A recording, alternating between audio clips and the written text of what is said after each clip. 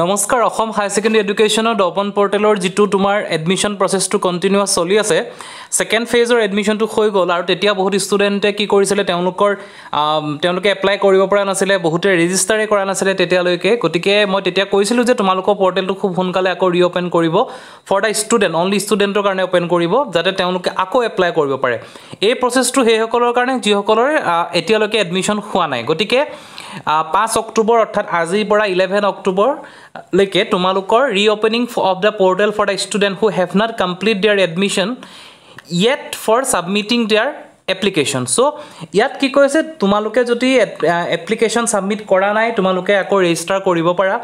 Then যদি তুমি পৰ্টেলত এপ্লাই কৰা নাই দুই এজনে মোক ফোন কৰিছে তেওঁলোকে এপ্লিকেশ্যনেই দিয়া নাছিলে পৰ্টেলত গতিকে তেওঁলোকে আকৌ ৰেজিষ্টাৰ কৰা। আৰু যিসকলৰ অলৰেডি এডমিশ্যনটো পেণ্ডিং আছে ৱেইটিং লিষ্টত আছা বা কিবা কাৰণে এডমিশ্যন হোৱা নাই তেওঁলোকে এপ্লাই কৰা। গতিকে সময় আছে এঘাৰ তাৰিখলৈকে তোমালোকৰ টাইম দিছে অনলি ফৰ দ্য ষ্টুডেণ্ট তোমালোকে এপ্লাই কৰা। আৰু এঘাৰ তাৰিখৰ পিছত ঠিক পূজাৰ আগে আগে তেওঁলোকে আকৌ নেক্সট মেৰিট লিষ্টখন হয়তো পাব্লিছ কৰিব। আৰু যদি কিবা কাৰণে লেট হয় হয়তো পূজাৰ দুই এদিনৰ পিছতে তোমালোকৰ নেক্সট থাৰ্ড ফেজৰ মেৰিট লিষ্টখন আহিব। গতিকে যিসকলে কৰা নাই সকলোৱে এপ্লাই কৰা। Thank U